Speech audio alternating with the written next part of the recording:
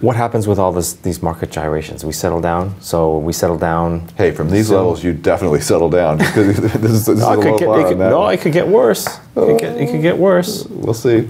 Yeah. We'll see. Not, You not, not for long. This is, but uh, it, it's certainly possible. I mean, we're we're going to have a negative year. Um, Yep. First in a long time.